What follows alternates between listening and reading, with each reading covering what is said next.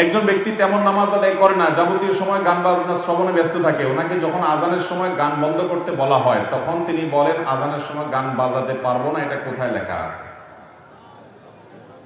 এই লোকরে বড় করে একটা বক্সিন দিবেন বক্সিন দেওয়ার পরে বলবেন, যদি বলে আমাকে বক্সিন কেন দিলা?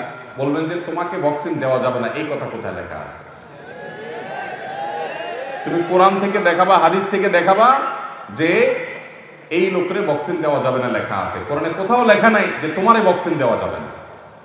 অতএব বক্সিন কেন আরেকটা দেবে কারণ ব্যাককল যারা, তাদের আককল দেওয়ার জন্য এ ধরনের কিছু দৃষ্টান্ত দেওয়ার দরকার হয়। কোরআনে আল্লাহ রব্বুল আলমিন তোমাকে আলাদা করে বলে নাই যে আজানের সময় গান শুনবা না। কিন্তু লাহওয়াল হাদিস অমিনান্নাসে মাইয়াস্তারি লাহওয়াল হাদিস এই আয়াতের ব্যাখ্যায় সারা বিশ্বের কোরআনের সবচেয়ে বড় ব্যাখ্যাতা নবী সাল্লাল্লাহু সাল্লামের পক্ষ থেকে সার্টিফাইড ব্যাখ্যাতা রাইসুল মুফাসসির আব্দুল ইবনে আব্বাস রাদিয়াল্লাহু সহ বিশ্ববিখ্যাত মুফাসসিরগণের তাফসীর হলো এখানে আল্লাহ রাব্বুল আলামিন বাদ্যযন্ত্র সহকারে গান সেটাকে হারাম করেছেন এবং নবী রাসূলুল্লাহ সাল্লামের বিভিন্ন হাদিসে রয়েছে। তিনি বলেছেন, কিয়ামতের আগে চারটি হারাম কাজকে মানুষ হালাল করবে, হালাল মনে করবে। এর মধ্যে একটা হলো আল মাআজিফ বাদ্যযন্ত্র। একটা সময় মানুষ মনে করবে এটা হালাল। আজকাল দেখবেন কিছু লোক বাইর হইছে। নিজেরা গান করে, সেটাকে বাদ্যযন্ত্র সংযোগে, সেটাকে হালাল করার জন্য বলে, না, ইসলামে গান বাজনা হালাল না, হারাম না। আছে না নাই? আবার কিছু পীরের মুরিদ আছে, যারা বলে যে, আসমানটা কাঁপছিল কেন, জমিনটা নাচছিল কেন, বড় পীর ঘামছিল কেন, সেই দিন সেই দিন। এরপরে কি? খাজা গান গেয়েছিল যেই দিন যেই দিন। হ্যাঁ? আল্লাহ নবীজির গান। তারপরে কি? পীরাউলিয়ার শান। যারা বলে, গান হারাম, জ্ঞানহীন জ্ঞানহীন। শুনছেন এই গান? বাউলরাই ফাউল গান গায়। বুঝতে পারছেন? আপনার আকাম করতে মনে চায়, আপনি আকাম করেন, আল্লাহর সাথে আপনার বোঝাপড়া হবে। আমাদের সেখানে বাধা দেওয়ার কিছু নেই, এটা আপনার ব্যক্তি স্বাধীনতা আপনি গুনাহ করেন, আল্লাহর সাথে বুঝেন আপনি।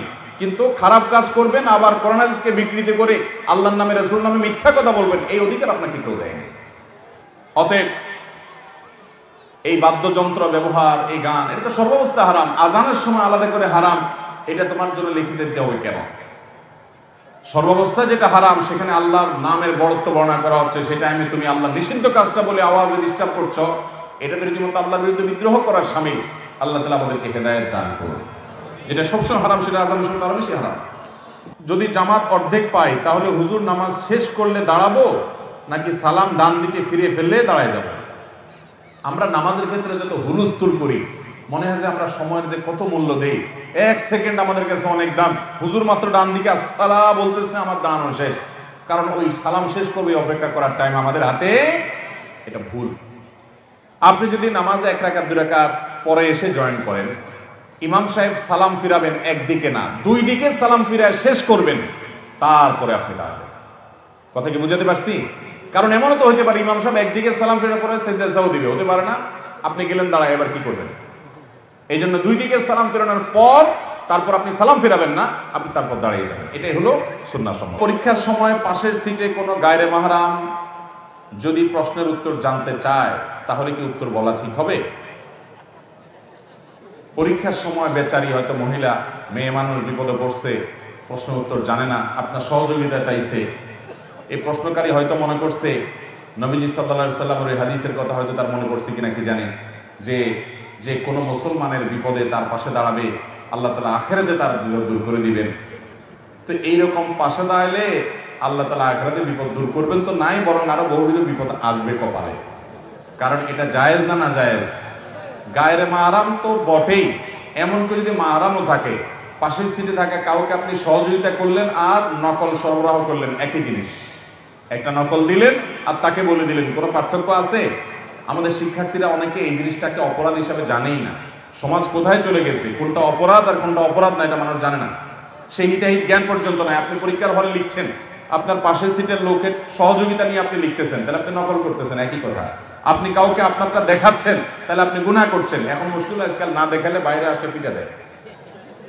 বিভিন্ন সময় পত্রিকা দেখা যায় যে পোলাপান্ত কিশোর বয়স থেকে আজকাল সন্ত্রাসী হয়ে যাচ্ছে। না দেখালে বাইরে আসলে মাইর দেওয়ার ভয় দেখায়।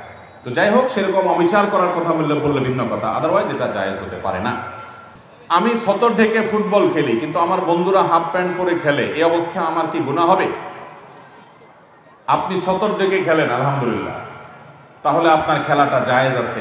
আপনি ব্যায়ামের উদ্দেশ্যে রিফ্রেশমেন্টের উদ্দেশ্যে আপনি ক্রিকেট, ব্যাডমিন্টন, ফুটবল খেলছেন। কোনো হারাম কাজ করা ছাড়া সেখানে জুয়া টুয়া নাই, জায়েজ হতে পারে। মুশকিল হলো আপনার সাথে অন্য সব খেলোয়াড়ের রান দেখা যাচ্ছে। সবাই হাফ প্যান্ট পরে খেলছে, তো অন্যের সতর দেখাটাও তো হারাম।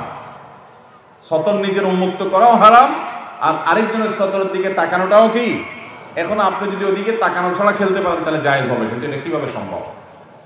বিশ তিরিশ জন মানুষ একই মাঠে দৌড়াদৌড়ি করবে, বল পাস করবেন, নিবেন, তার সহযোগিতা খেলবেন, তাহলে সেক্ষেত্রে তার রানের দিকে তো আপনি তাকাবেনই।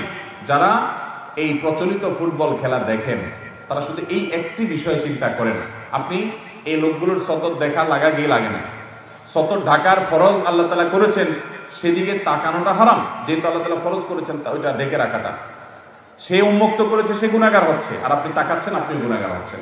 অতএব এটা জায়েজ হতে পারে। হ্যাঁ যদি সবাই থ্রি কোয়ার্টার প্যান্ট পরে ফুল প্যান্ট পরে সতর উন্মুক্ত করা ছাড়া যদি ফুটবল খেলেন, ব্যাডমিন্টন খেলেন, ক্রিকেট খেলেন, সেখানে পারস্পরিক কোনো লেনদেন নাই, হারাম কোনো কিছু নাই, নেশা বা এডিকশন হয় না, নামাজে মনোযোগের সমস্যা নাই, আলহামদুলিল্লাহ, শারীরিক রিফ্রেশমেন্টের জন্য, কসরতের জন্য এই ধরনের খেলা যায় আছে। আমাদের নবী সাল্লাম তার আমলে মসজিদে নবীর আঙিনাতে ইথিওপিয়ান সাহাবিরা খেলাধুলা করেছেন, তিনি পারমিশন করেছেন।